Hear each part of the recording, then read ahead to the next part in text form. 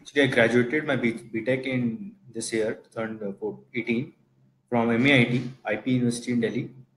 And uh, so in my second year, I tried uh, uh, for uh, Precog. So right now, I am a research associate at Precog in IIIT Delhi.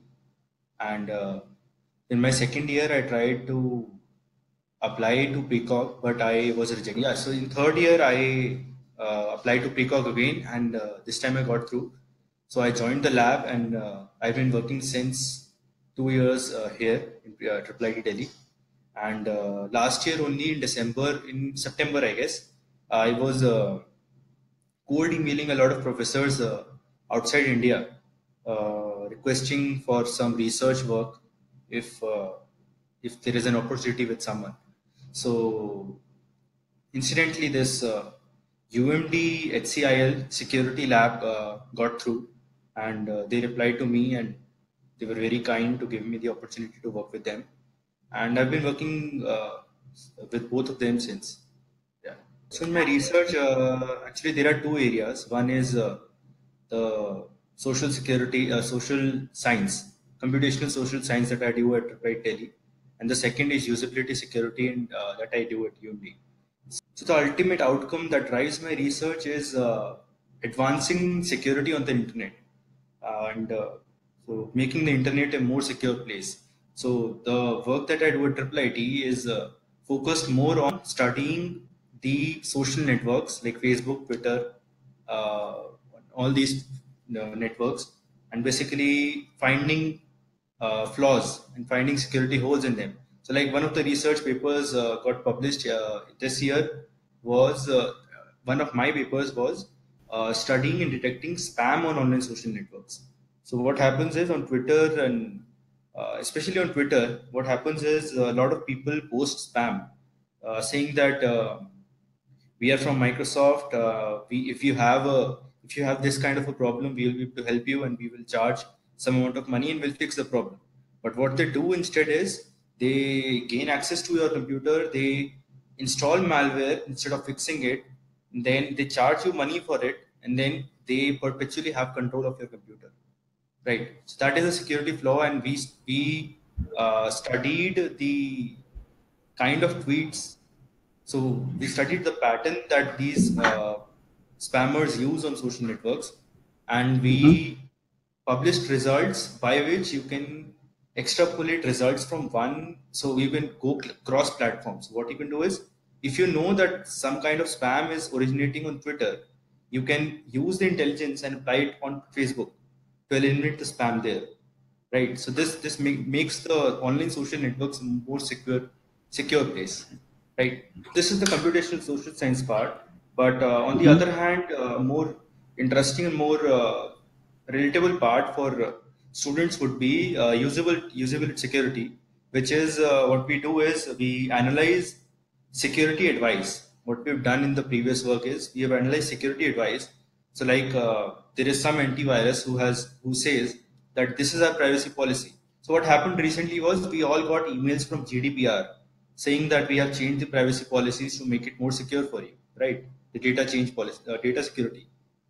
Right. So uh, Mm-hmm. now what happens is those privacy policies are not readable by uh, most of the users. Uh, Okay. they are very very obscure to obscure to read, obscure to understand.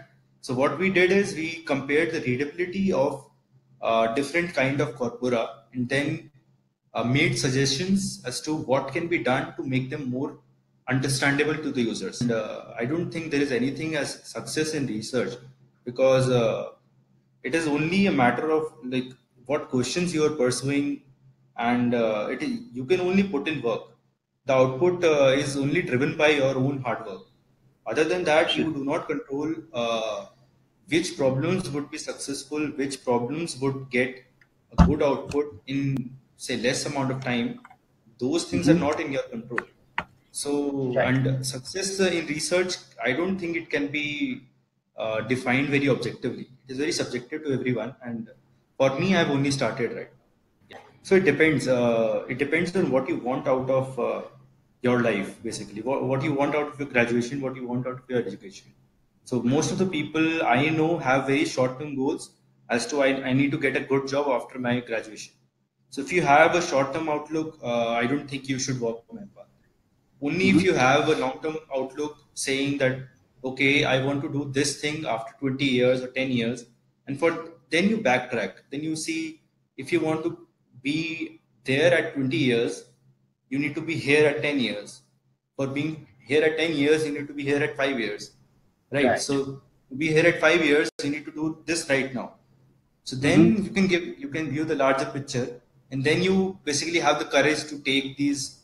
So I I uh, did not register for placements in my college because I did mm-hmm. not have the time to like spend uh, spend spend time on the interviews and all those things. So that is those are some hard calls I think that people uh, shy away from in college because they think that getting a job out of college is everything. But uh, my view is that uh, it is uh, it is actually not. Like as I tell my juniors, you need to be very focused and planned right from the start. I started only when I entered college. Before entering college, I did not, did not do anything. So what they need to do is they need to plan semester wise. That see internships start after the second year. If your internships will start hiring you after second year, and that is the main deal that you want to crack. Without internships, you don't get anywhere, right? Mm-hmm. So in your 1st mm-hmm. and second year, you need to get your fundamentals strong. You need to do uh, all those uh, data structures, algorithms, um, maybe some advanced courses like machine learning, data science. These things you need to finish off. Android development, web development. These things are very basic things which a student should do and finish off in their first two years of graduation. Uh, that is with internships with good projects. Only then they'll be able to make it through uh, good internships in the third year. Now entering third year they need to focus on uh, their uh, communication skills. So they can communicate with professors if they want to apply for academic internships or managers or at big companies if they want to um, uh, get an internship uh, at a industry level. So so now that so now after your second year, your target should be to get a good internship. If not after the second year, then after the third year. Now once you have a good internship, you have a good outlook. You have a good good perspective on what you want to do ahead. Right. So after that, you will be able to make decisions yourself. But till getting a good internship, you need to follow this uh, thing that finish your basics up to year two.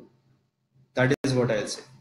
So I, I am not saying that try to be adventurous. I'm just saying don't try to play it safe. Just don't try to do what everyone is doing and think that whatever you do other than that would be wrong. That is not being adventurous per se, but just don't try to be like I will get good good grades and I will sit in the class and I'll get uh, I'll pass my graduation and then get get a good job and then have a good life. So, for a for a non IIT, non triple IIT student, that does not work in my experience. Uh, the group that I have uh, in Delhi, in India, that is Triple IIT Delhi Precog. That is one of the best research groups in India. And uh, mm-hmm. once you uh, are working there, so I, when I when I was applying for internships abroad, I was already working there for one year. So I had a fairly good idea of what research is, what the problems are, and I was fairly fairly uh, I would say fairly mature to understand what uh, what research papers are. So um, I was reading a lot of I emailed about 10 or 15 professors abroad after reading their papers. So one mail took me about a week to write because I used to read their papers, then find out the meat and write an email, kind of an SOP to uh, request work with them. But I did not get any response. Now, luckily, I met a professor of UMD in a talk in Delhi. So he had come for a talk. So I met him and I told him about working with this group. And then I told him that I'm trying to get a RA-ship somewhere. So he said that uh, okay, so my university, some people, some of the faculty is looking for RAs, and you can apply there. So so I just sent an email to the professor that he suggested, and I luckily got a response. So I would say that it is mostly luck in this case, but uh, you can replace that foreign experience with working in good research groups in India too. In India too, you have research groups like Precog, which mm-hmm. give you that experience that you get abroad. About Yocket, uh, actually, I heard about it the, for the first time when I saw the Facebook group online. So I ha- I am on the Facebook group since the last one year at least. That is when I heard about it first, and then after that, uh, while sending my transcripts uh, about a few days ago, that is when I used Yocket, and the experience was very good. So oh. yeah, so after that, when I, whenever I apply again, I'll definitely try to use Yocket services. Uh, as I said, success is uh, very subjective. Uh, is not an objective. So for me, I guess success would be to have comfortable life uh, doing what I love.